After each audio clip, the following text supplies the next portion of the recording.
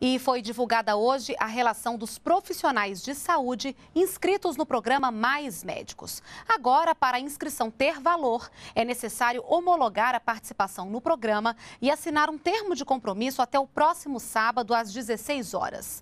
Para consultar o resultado e confirmar a participação, basta acessar o site do Mais Médicos. A lista final com profissionais e municípios que estarão nesta primeira seleção vai ser publicada na segunda-feira, dia 5 no site do Ministério da Saúde. O programa Mais Médicos pretende ampliar o número de médicos no interior do país e também nas periferias das grandes cidades.